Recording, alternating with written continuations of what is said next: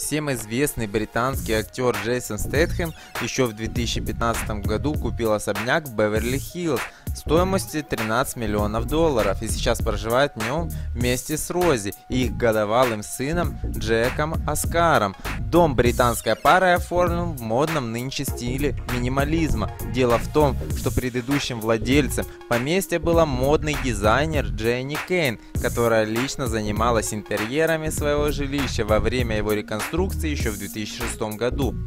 Само здание виллы было построено еще в 1980-е годы. Его площадь составляет около 660 квадратных метров. Здесь находится 5 спальных комнат, 8 ванных, гараж на 8 автомобилей, огромная гостиная, 2 столовые и оборудованная по последнему слову техники кухня.